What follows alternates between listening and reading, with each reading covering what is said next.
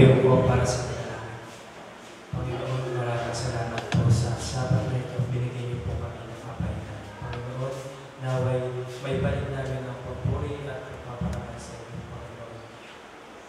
Po kung saan po kami nagsupungan at nagkasala. Ngayon din po, Panginoon, naway ang mga papunta pa lamang gabay niyo, Panginoon, bigyan ng Banal na Espiritu upang mahikayat sila lumapit at pumunta sa. Panginoon, ngayon din po, itong sabat na ito, naway kayo po ang maging sentro at maging kapuri-puri sa inyo sa harapan niyo. Ngayon din po, Panginoon, naway lahat po na makikinig ng mga salita, ipuin po ang mga puso. Ipuin po ang mga puso upang ngayon ang aming buhay na hindi ka ay ayaw magbigay po na kaliwanag, liwanag sa amin. Panginoon, ngayon din po ang mga magsasalita at magpaparticipat, Panginoon. Gabayan niyo po sila. Gawin niyo po silang instrumento. Naway kayo po makita, hindi po kami. Jesus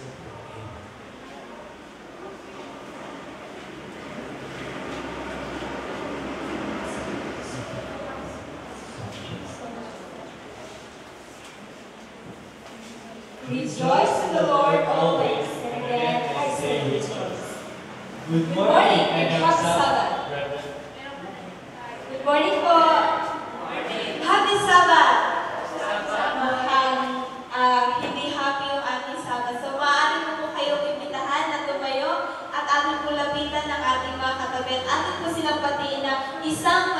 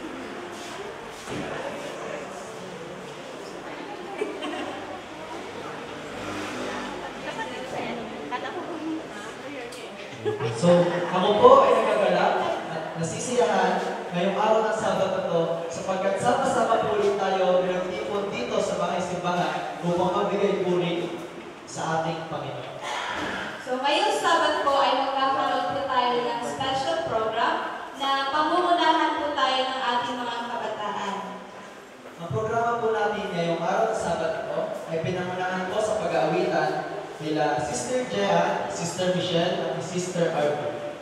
At pina at opening prayer po ni Brother Genesis, Belmonte. At welcome remarks po ng po ng inyong lingkod, Brother Jess Espereta. and Sister Joy Floral. At susundan po tayo ng musical number ni Sister Randy and Company. At pagkatapos naman po ay magkakaroon po tayo makakapanood po tayo ng isang special picture na ipagkakaroon po sa atin ng mga kabataan po ng Puting Kapon. After po na special feature ay magkakaroon po na sa musical offering na uh, i-render po sa atin ng isang. At pagkatapos, po nun ay magkakaroon po tayo ng ating lesson review na pamumunahan po ni Pastor Jose P. Orbe. Magkakaroon po tayo ng family time na ibibigay po sa atin ni Sister Eunice Rivera. At closing song po ng ating mga song leaders na sina Sister um, Rat, Sister Jay Ann, Sister Michelle, and Sister Arlie. After po doon ay ang ating closing prayer. May we all be blessed and have a wonderful Sabbath day.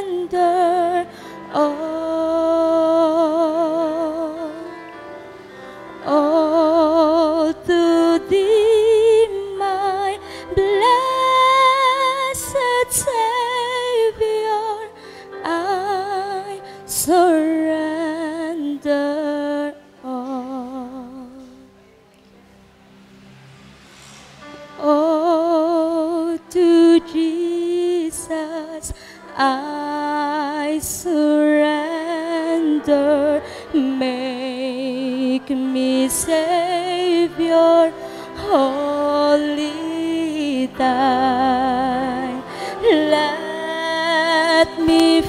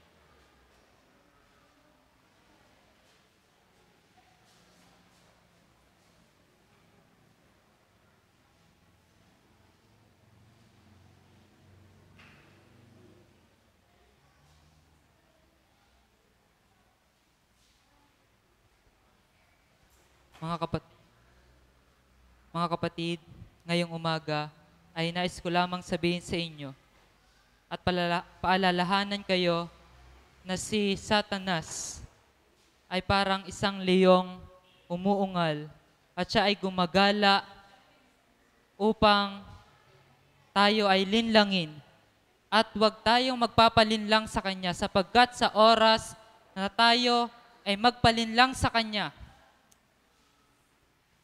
ay tayo ay mapapalayo sa ating Panginoon.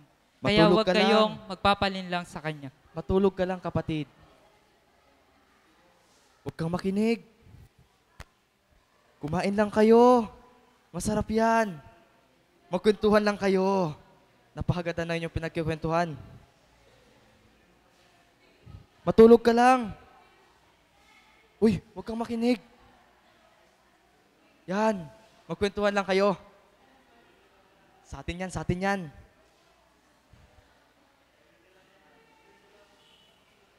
Yan. Kumain na kayo. Yan. Matulog ka lang.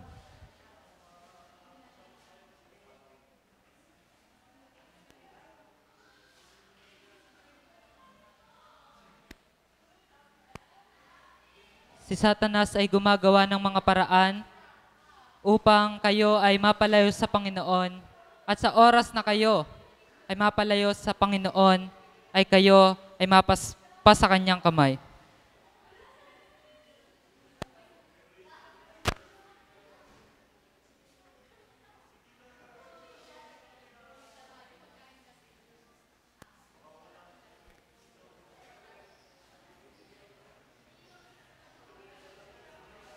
Sige lang. Sige lang. Sa oras na kayo ay mapasa kaaway, ay ang mga anghel sa langit ay umiiyak sapagkat ayaw ng Panginoon na tayo ay magpapaloko sa kaaway at ayaw ng Panginoon na tayo ay mapalayo sa Kanya. Tara na mga kapatid. Kuhain natin yung ating mga kampon. Di ba? Nagkwentuhan lang kayo, hindi kayo nakinig. Sa amin kayo. Kumain lang kayo, di ba? Sa amin kayo. Ikaw natulog ka lang, sa amin ka rin. Tara. Magkakasama tayo. Tara. Pumunta pa kayo dito. Matutulog ka rin eh. Kapatid, ba't ka nagpaiwan? Mas maganda doon sa amin. Madami kang kasama. Anong ginagawa mo dito? Dito ka lang.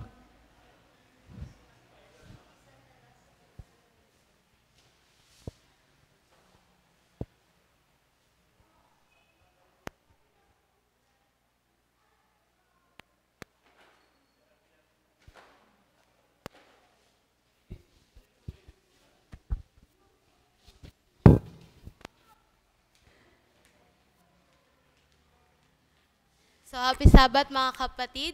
Ang ginawa po naming skit ay makikita nyo naman po na sa loob po yun ng simbahan na kung saan useful po na nangyayari sa simbahan natin. Na may kumakain, na may natutulog, may nagkukantuhan, nagja-gadgets, lahat po yun. Pero sa simbahan, ay sa simbahan na yon nandun si Satan at dun, andun din yung mga anghel. So, tuwang-tuwa si Satan kasi nakuha niya yung mga tao na nasa kanya, yung mga, naglal, mga nagsiselfon lang, kumakain lang. Pero yung mga anghel ng Panginoon, umiiyak sila kasi nakukuha na yung nakukuha niya na lahat ng mga tao nandoon. Pero may isang faithful na natira na nan- nananalangin sa Panginoon na siya iligtas at wag siya madisib ng mga tao. At yun lang.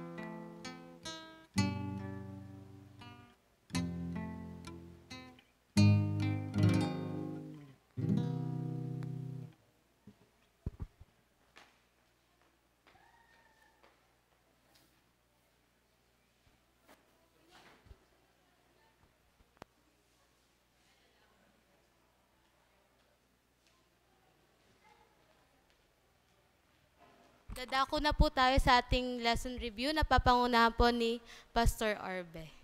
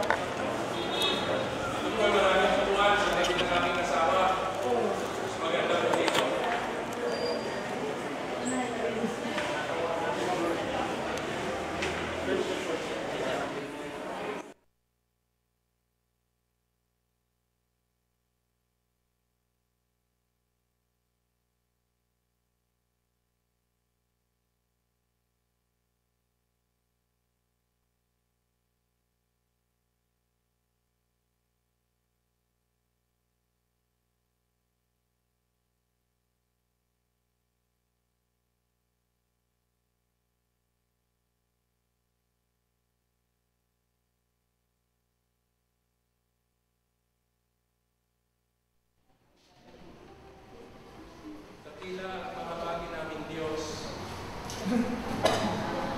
Kaligayahan namin na kayo'y katagpuin bilang magkakapatid sa pagkakaisa sa banal na araw ng Sab- Sabat at sa lugar ng inyong pagsamba. Tulungan mo kami, Panginoon, na may ugnay namin ang aming mga sarili sa iyo tanggapin ang biyaya ng banal na Espiritu na turuan kami ayon sa aming kanikanyang pangangailangan bilang iyong mga alagad. Sa pagbabalik aral, O Diyos, nais po namin makita ang aming mga sarili kung maaari inyong paunlarin ang aming pananampalataya. Salamat, Panginoon, sa kapangyarihan banal na Espiritu na bumago sa aming mga buhay sa pangalan ni Jesus.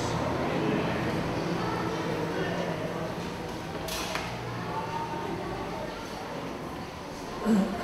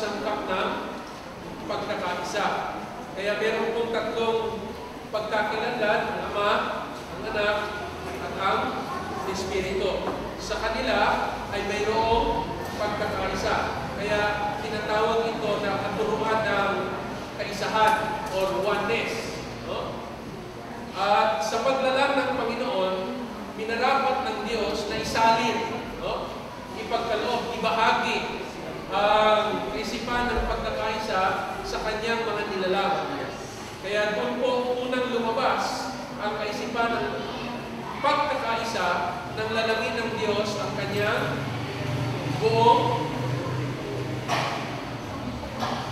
paglalang. No? Nilalang niya ang mga hayop, ang mga kapangyarihan sa sa ating paligid. Nilalang niya ang mga halaman, ang mga bundok, at lahat ng maaari nating nakikita sa sanlibutan. Ang pinaka maganda na larawan ng pagkakaisa ay inilagay ng Diyos sa kanyang mga anak. Nilalang niya ang lalaki at ang babae na bagamat may sariling pagkakilanlan katulad ng pagka-Diyos na ano, iisa sa laman. Kaya si Adan at si Eva, bagamat magkaiba ang kasarian, no, ay pinapag-isa ng Diyos sa pag-aasawa upang ang pagkakaisa ay lalong mahayag, lalong makita, lalong maging ganap, lalong maranasan ng tao kung ano ang biyaya ng pagkakaisa. Nasusundan niyo po ba? Nasusundan po natin, ano? Kaya doon sa paglalang, pinasimulan ng Diyos ang katuruan ng pagkakaisa. Pinag-aralan din natin noong nakalipas na mga Sabado, ang pagkakaisa ito ay nasira gawa ng kasalanan ng tao. Pinili ng tao na umiwalay sa Diyos. Kaya yung pagkakaisa ng manlalalang at mga nilalang ay nasira pagkatapos na magkasala ang tao. Kaya pasimula po noon, nagkaroon ng hindi pagkakaisa. Oh? Uh, hindi lamang dito nagpasimula ang ang paghihiwalay ng pagkakaisa ng Diyos at ng kanyang mga nilalang.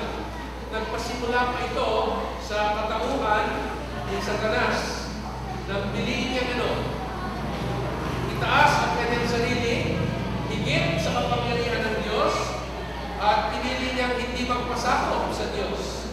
Kaya dahil dito, naghiwalay ang sangkalamitan sa dalawa. Ang nanaig ay ang kabutihan laban sa kasamaan.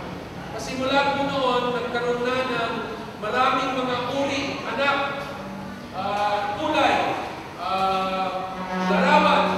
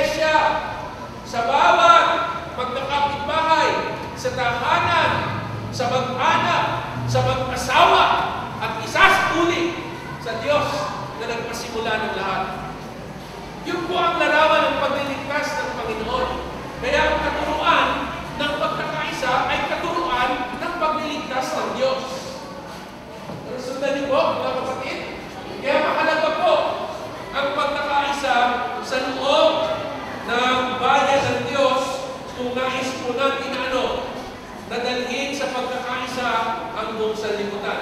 Sa huling yugto ng ating kasaysayan, gagawang makapangyarihan ang kaaway ng ating Panginoon sa Satanas. Sa kanya na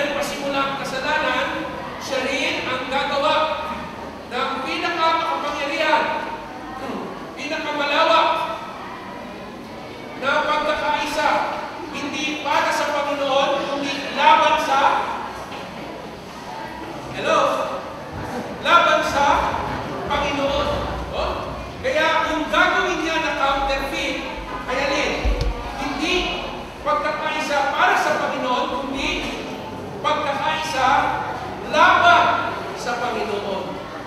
So, noong pangatlong Sabado, tinalakay natin na hangad ng Diyos ng pagkakaisang ito ay maging kapangyarihan ng kanyang ebanghelyo ng pagliligtas. Kaya ang sabi ng Panginoon, maliban na kayo ay nakaugnay sa akin, maliban na kayo ay nakadugtog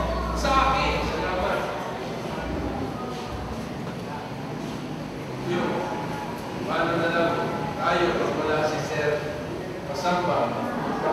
Thank you.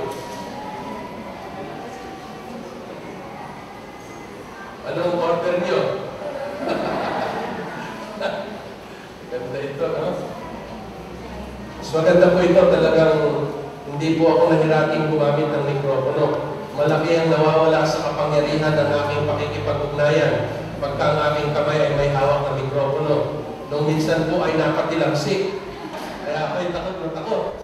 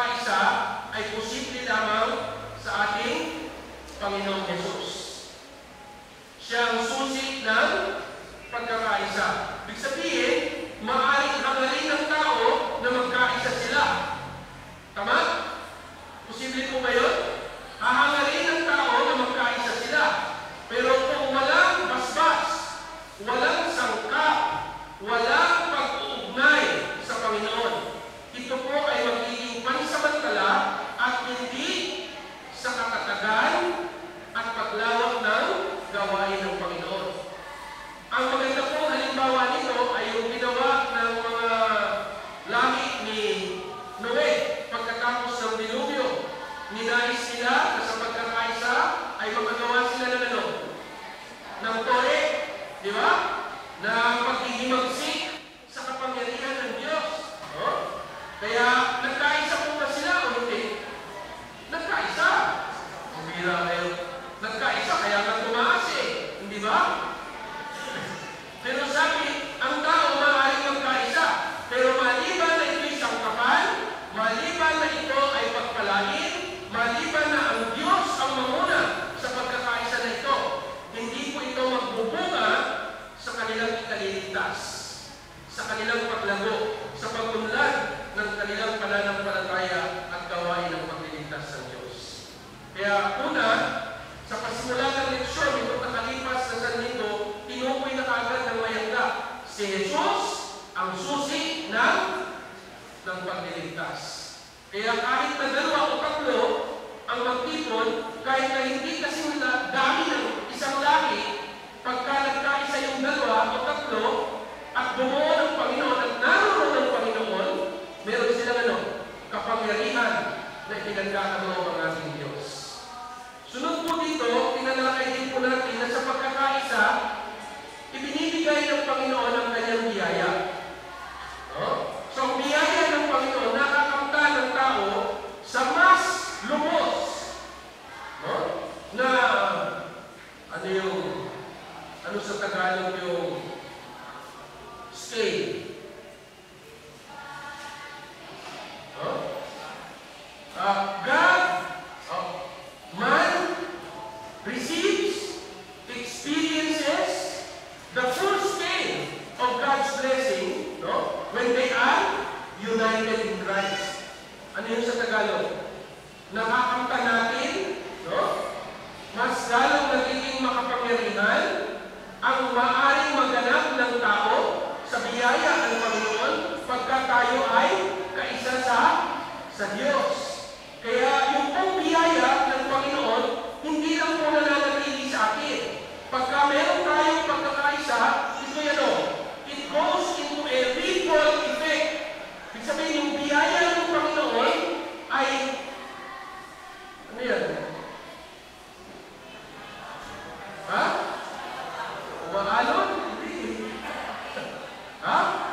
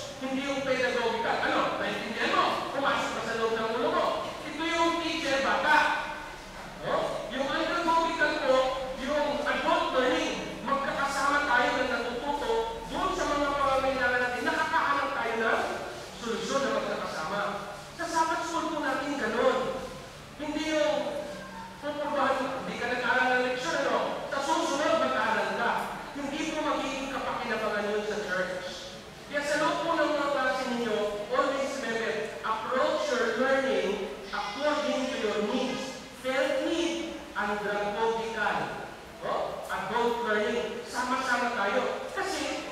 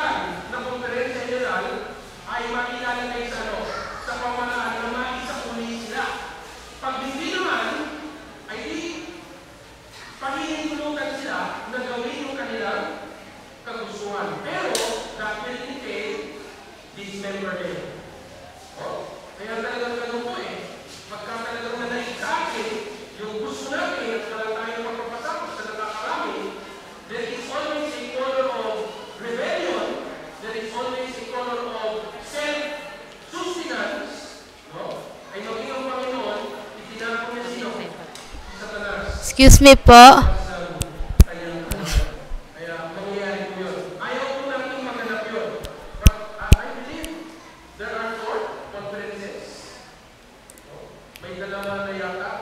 Excuse me po, Pastor Arbe. Meron na lang pong limang minuto pang tapusin ang lesson review.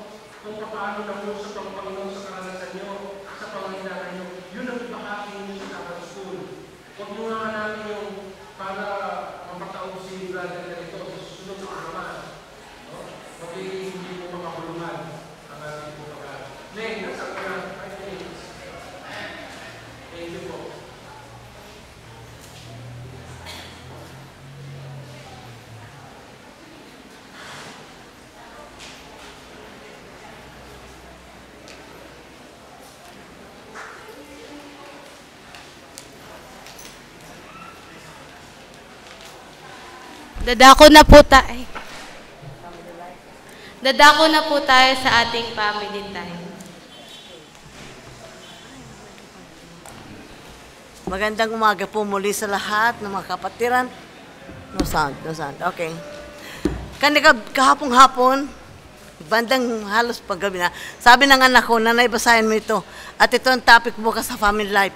Sabi ko, bakit ngayon mo lang ito binigay sa akin? But, I'm sorry. Wala naman saan. Okay. Sabi ko, bakit ngayon lang binigay sa akin? Sana you gave me more time. But anyway, binasa ko rin yun. Ang topic nga ng binigay sa akin kagabi na dapat daw ngayon talakayan, hospitality or pag-entertain o pag ah, tanggap ng bisita sa ating tahanan. Okay.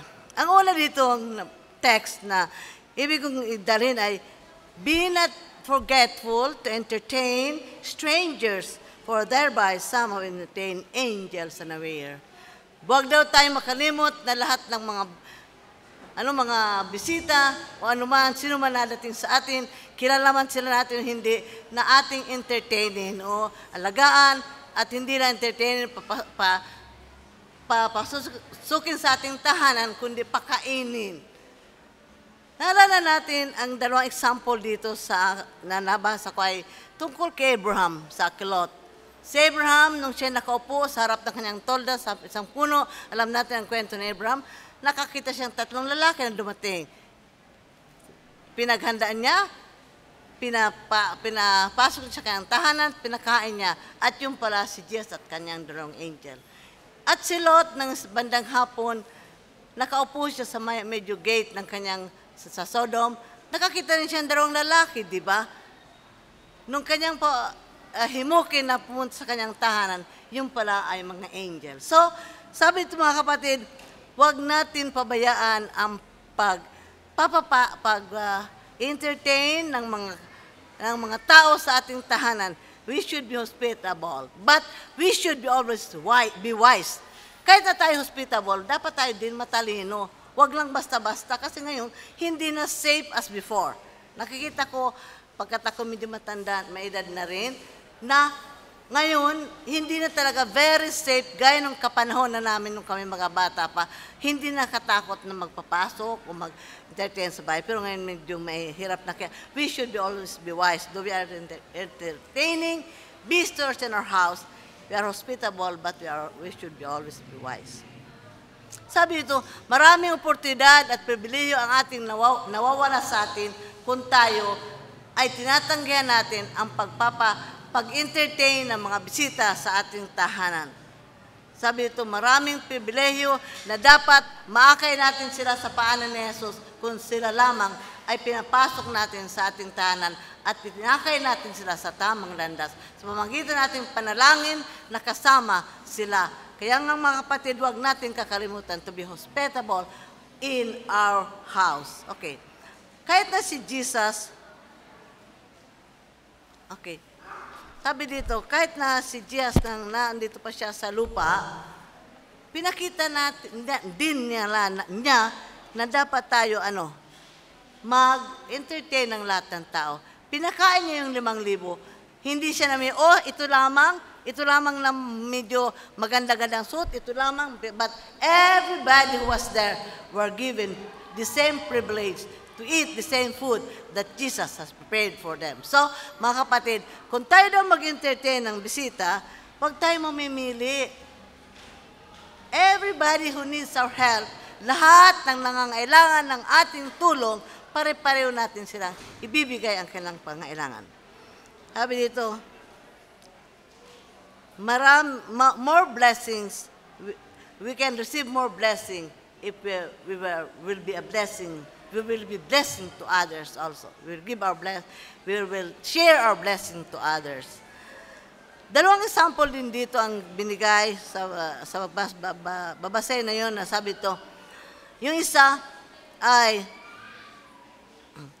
yung uh, sabi to yung si Diaz nga na, ay, na nagpakain, tapos yung isa naman ay yung widow ng Serepat. Hindi niya sinabi na ako lang ay isang balo, ito lang ang aking nasa tahanan ko. Sabi nga niya, kakain, iluluto ko lang ito, pagkakain namin wala na, hindi ba sabi niya kay Elijah? Pero anong ginawa niya? Pinag, ilinuto niya para kay Elijah, pagkatapos, ano nangyari? Maraming pagpapala ang dumating sa mag-inang yun because yung balong yun ay hindi, niya na, hindi siya nakalimot na mag-entertain ng stranger. Okay. Huwag din natin daw sabihin na tayo ay, ano, ma, mahirap lamang. Kung ano man ang ating kakayanan, we can share it. Ano man yun. Sabi dito, huwag tayo maging makasarili na tayo lamang, pamilya lamang natin ating alagaan. Sabi ito, if we are selfish, na ating pamilya, we will be centered on to our family, it's not also good. Kasi yung blessing na may bibigay natin sa iba, may share natin sa iba, ay hindi natin magagawa. Sabi ito, ang mga anghel ay nakabantay sa ating mabuting mga gawa. Sabi ito, let us be uh, entertaining the poor, the maimed, the lame, and the blind. And one thing more, sabi ito, yung mga kabataan natin, mga kapatid, latong tayong mga tatanda na sa iglesia, huwag natin kakalimutan ating mga kabataan. Kung sila pupunta sa ating tahanan and they need our help, let's entertain them. Let them come to our house. Let them talk, talk with them. Kausapin natin sila kung ano ang problema nila. Malay nyo na ma-share nila ang problema at matulungan sila na maibisan ang kanilang problema. So, we should be hospitable. Pagkat si Jesus man din, ay nung nasa lupa siya, He was hospitable with everybody. Sabi dito, lahat ng ginawa natin ay hindi yun, na, hindi yun na nawawala sa paningin ng Panginoon, ng mga angel. So, lahat ng oportunidad na ma na will all these opportunities to come to our lives or come to our place, wag natin papalampasin. Let us always entertain people in our house. Nalala ko, for more than, almost, ah yeah, 30 years ako naging pastor's wife kasi namatay ang asawa ko kaagad. Ay ano, those years when I was a pastor's wife, kahit na ang daming bisita, sabi ko, oh, yung pagkain namin na ganun na, baka maubos na, wala na akong, wala na makain ng pamilya ko. But when you entertain people in your house, mga kapatid, more blessings are given to us by Lord. Mas maraming pagpapala ang binigay ng Panginoon sa amin. We did never have time na wala kayong makain sa bahay. Mga kapatid, let us entertain and be hospitable in our house. Wala talaga. Ang pagpapala ng Panginoon, hindi ko nalaman kung saan galing yan. Basta every time that we need food, every time na kailangan namin ng kung ano man yan, naandyan, binibigay ng Panginoon. If we only share it with others. Kung tayo ay magpapaano, ibabahagi na sa iba. Isang araw nga may nabasa ako, sabi ito, you are, nabasa kong text for a day, woman, uh, children's woman book, ma, ba, libre para sa kabayan. You are blessed by the Lord today and be a blessing to others. Mga kapatid, araw-araw tayo are being blessed by the Lord. So, let's say, let us be a blessing to others. Huwag natin magkasarilanin. Ang lahat ng pagpapala binigay ng Panginoon sa atin, huwag natin yung sarili, sasarilihin. Ano, we should, we should not be selfish. Sa atin lang yan. But no, we should share all the blessings that God gave us to others. What, ano man yan. Okay. Sabi ito, gumising tayo sa mga oportunidad na binibigay sa atin. Wake up, brothers and sisters. Do not be afraid to do good works. Gumising daw tayo mga kapatid, kabayan kalakin. Huwag tayo matakot na buwa ng kabu- kabutihan sa iba. Let us not be Let us not be weary in doing good. Huwag tayo manghimawa o mahimagod sa paggawa ng kabutihan. For in, sabi ito, for in due se- season, we will reap if we faint not. sabi to, tayo ay pagpapalain din. Do not wait to be told your duty. Open your eyes and see who is around you. Huwag na daw tayo sabihin, oh, Mr. Barry, itong gawin mo dapat yan, ito gawin mo dapat yan. No. We should open our eyes. Buksan natin ating mga mata sa pamangailangan ng ating palibot. Yeah, sorry. Tawa, tapos na oras ka, I'm sorry. Okay, mga, kaya nga mga kapatid, ito ay panawagan sa atin. Sabi ni James, do, sabi, ang pure religion daw, ano, walang kaninan at walang corruption. At sabi ito, ang mga may pure religion, sabi, who- are who are anxious to do all in their power to aid in the plan of salvation. If we have, are claiming to have that pure religion in our life, let us not be anxious to do our best to help others to be saved. Yun lamang po.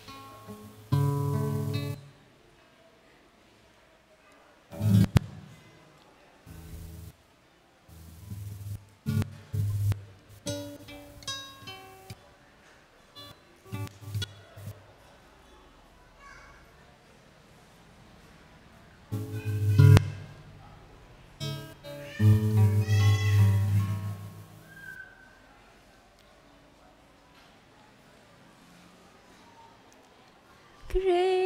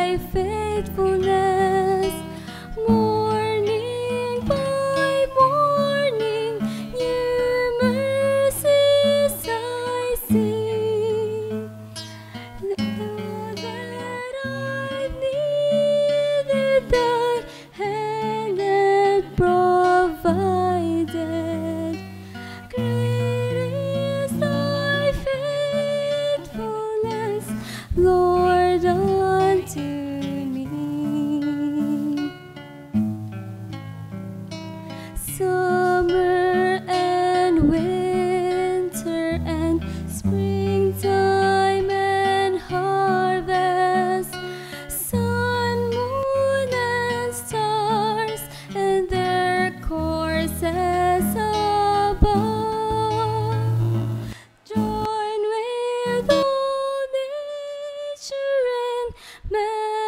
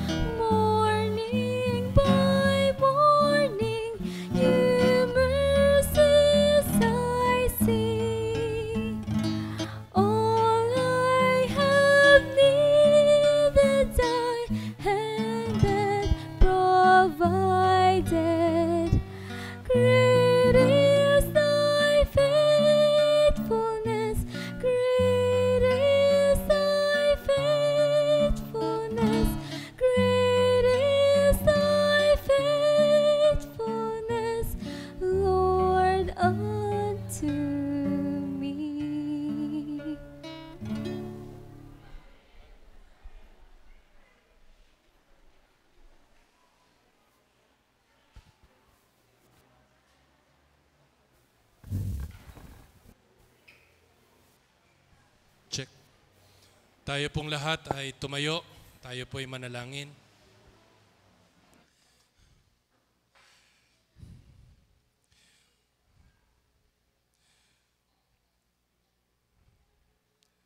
Diyos na makapangyarihan sa lahat, Ikaw ang nagkaloob ng pagkakaisa sa iyong mga anak sa buong iglesia at sa buong hukbo ng mga Adventista sa buong sanlibutan. Ninanais namin, Panginoon, na maging bahagi kami ng iyong kalwalhatian sa iyong pagbabalik. Hangad namin na kabilang kami sa mga nakatayo na sasalubong sa iyong pagbabalik. Turuan mo kami, Panginoon, na magkaisa sa lahat ng aming mga gawa. Na maiwaksi namin ang mga dahilan ng aming hindi pagkakaisa. At kung ito'y maganap, Panginoon, turuan mo rin kaming maging mapagpakumbaba. Masunurin sa iyong mga tagubilin upang hindi kami maaagaw ng kaaway at mananatili kami sa iyong mga kamay, sa iyong pag-iingat, sa iyong pagliligtas, hanggang dalhin mo kami sa langit na bayan. Ito po ang aming dalangin, kalakip ng paghingi ng kapatawaran sa aming mga kasalanan sa pangalan ni Jesus. Amen.